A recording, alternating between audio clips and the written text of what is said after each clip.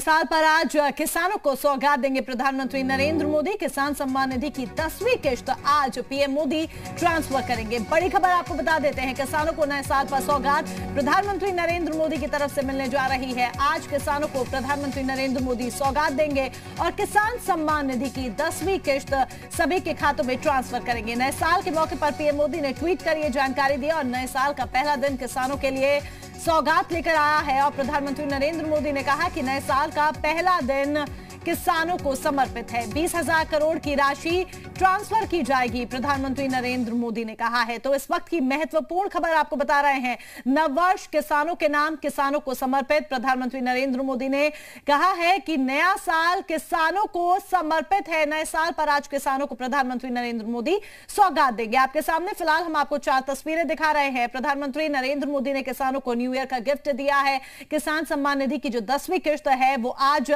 किसानों के खातों में जमा करा दी जाएगी। बीस हज़ार करोड़ रुपए टोटल ये पूरी किश्त है जो किसानों को दी जाएगी, यानी कि किसानों को सौगात नव वर्ष पर साल के पहले दिन, साल 2022 और पहला दिन किसानों के नाम किसानों को समर्पित, और चौथी तस्वीर आप देख सकते हैं अन्नदाता का खाता, जहाँ पर अन्नदाताओं का खाता आज भरने वाला है, क्योंकि दसवीं किश्त जारी होगी किसान सम्मान निधि की। प्रधानमंत्री नरेंद्र मोदी ने कहा है कि नए साल का पहला दिन किसानों को समर्पित है। प्रधानमंत्री नरेंद्र मोदी ने ट्वीट कर यह जानकारी दी है। उन्होंने कहा है वीडियो कॉन्फ्रेंसिंग के ज़रिए किसानों को दसवीं किश्त जारी करी जाएगी और इसका सौभाग्य उन्हें मिलेगा। इसके तहत बीस हज़ार करोड़ रुपए से अधिक किसान पर जमा कराए जाएँगे और किसानों को लाभ मिलेगा। प्रतिभा जी, जब हमने पीएम किसान योजना शुरू की तो कहा जाता था कि इस रकम में किसान का क्या भला होगा। आज आपने बता दिया कि हमारे किसान इन रकम का कितना अच्छी तरह से इस्तेमाल कर रहे हैं। पीएम का किसानों को न्यू ईयर गिफ्ट। साल की शुरुआत, किसानों को सौगात।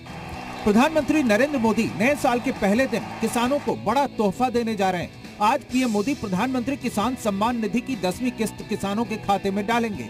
पीएम मोदी ने ट्वीट कर बताया कि नए साल का पहला दिन अन्नदाताओं को समर्पित होगा। दोपहर बारह बजकर तीस मिनट पर वीडियो कॉन्फ्रेंसिंग के ज़रिए पीएम किसान सम्मान निधि की दसवीं किस्त जारी करने का सौभाग्य मिलेगा। प्रधानमंत्री किसान सम्मान निधि की शुरुआत दिसंबर 2018 में हुई थी। इसके तहत लाभार्थी किसानों को हर साल छह हज़ार रूपए दिए जाते हैं, जो तीन किस्तों में डायरेक्ट बेनिफिट ट्रांसफ़र यानी डीबीटी के ज़रिए सीधे किसानों के खाते में जाते हैं। अब तक नौ किस्तों में किसानों को एक लाख साठ हज़ार करोड़ रुपए का लाभ मिल चुका है। दसवीं किस्त में आज दस करोड़ से ज़्यादा किसानों के खाते में बीस हज़ार करोड़ की राशि ट्रांसफ़र होगी। पीएम मोदी इस दौरान किसान संगठनों से बातचीत भी करेंगे और साढ़े तीन सौ किसान उत्पादक संगठनों को चौदह करोड़ रुपए से ज़्यादा का इक्विटी ग्रांट भी जारी करेंगे जिससे सवा लाख किसानों को फ़ायदा होगा। जी बताइए आप खेती के संबंध में जरा। मैं, सर यहाँ एक सैफरान ग्रोवर हूँ सर। पिछले तीस साल से मैं यही खेती कर रहा हूँ खुद खुद ही। ये तो ये जो सैफरान था थोड़ा पीछे गया था लेकिन जनाब गवर्नमेंट की मुदाखलत से गवर्नमेंट की कोशिश से अब ये दोबारा रिव्यू हुई है। लाभार्थी किसान पीएम किसान की ऑफिशियल वेबसाइट पर जाकर फार्मर्स कॉर्नर वाले ऑप्शन के ज़रिए लाभार्थी सूची में अपना नाम तलाश कर कंफर्म हो सकते हैं। पीएम मोदी के खुशहाल भारत के सपने की धुरी रहे हैं अन्नदाता।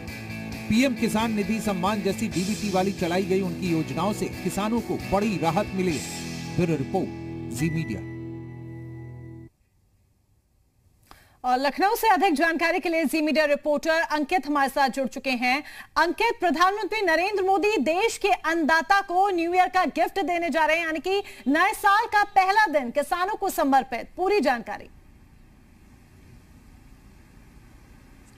देखिए, साफ़ तौर पर इसको आप ये इस तरीके से समझिए कि ये किसानों के लिए खुशियों की किस्त है। जो दसवीं किस्त प्रधानमंत्री नरेंद्र मोदी आज वीडियो कॉन्फ्रेंसिंग के ज़रिए जारी कर देंगे। देश भर के तकरीबन 10 करोड़ से ज़्यादा किसान परिवारों को इसका लाभ होने वाला है। किसानों तक ये राशि सीधे पहुँचने वाली है। और ये खुशियों की चाबी है जो प्रधानमंत्री नरेंद्र मोदी ने साल के शुरुआत में दे दिया है। और साफ़ तौर पर किसान इससे अपने आप को खुद भी जोड़ते यानी कनेक्ट करते हुए नज़र आते हैं। सिर्फ़ इतना ही नहीं है, इसके बाद तीन तारीख से शुरू हो जाएगा।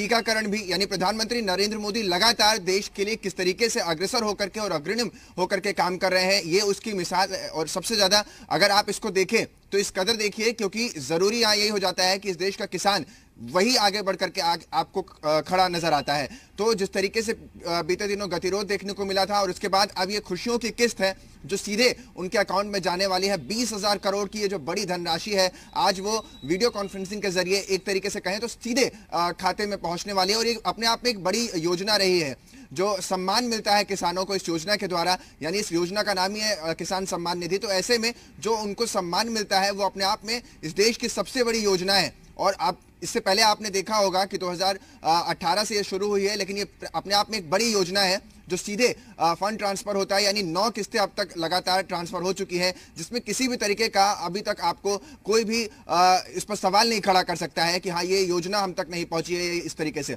लेकिन देखिए, किस तरीके से आज प्रधानमंत्री जब बटन दबाएँगे, हम हमेशा से मानते हैं कि बटन दबता है और सीधे खाते में पैसा जाता है यानी जो लगातार मोदी गवर्नमेंट की खासियत रही है योगी गवर्नमेंट की खासियत रही है कि हम गवर्नेंस पर बहुत ज़्यादा ध्यान देते हैं वो यहाँ से भी निकल करके आता है। ज़ीरो टॉलरेंस की नीति होती है और चलिए अंकित जुड़ने के लिए तमाम जानकारी के लिए बहुत बहुत धन्यवाद आपका। तो खुशियों की किश्त आज किसानों के खाते में वीडियो कॉन्फ्रेंसिंग के ज़रिए जमा कर दी जाएगी और प्रधानमंत्री नरेंद्र मोदी किसानों को सौगात देंगे। तो अब